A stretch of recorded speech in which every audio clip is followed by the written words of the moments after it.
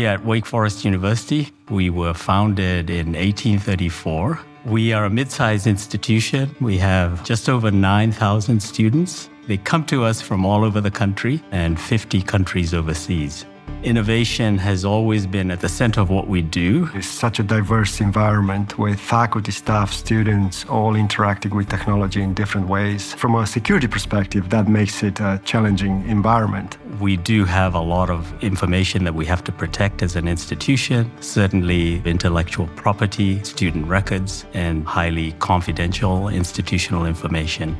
The decision to make Google as our identity provider was multifold. One was the end user experience, second was the savings, and third, most importantly, it was all about the security features. 10, 12 years ago, we had two different systems a generic SAML identity provider, and we had Google Workspace. We had all these additional protections in Google Workspace that we didn't have in the generic SAML identity provider. So one day I asked, what if we proxy all these authentication requests to our generic identity provider to Google and let Google do all the work for us?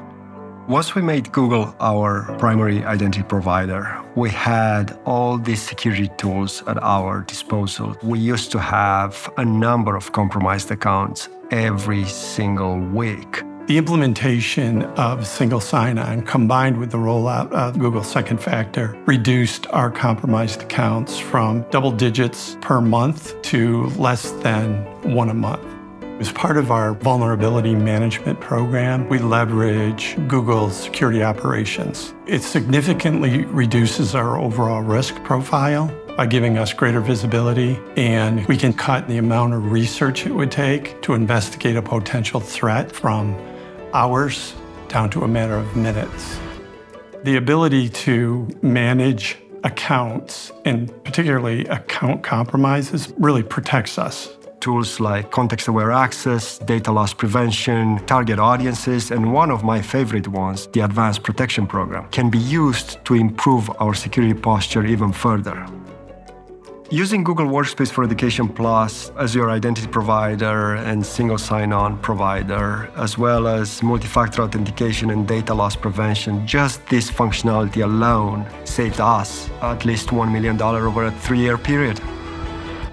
We view Google as a strategic partner. Google is always pushing the boundaries of innovation. And so by extension, Google's innovation helps us as an institution stay on the leading edge. All of these things put together present this fabulous opportunity for Wake Forest and for higher education at large to really transform the way we do things, increase productivity, and even lower costs.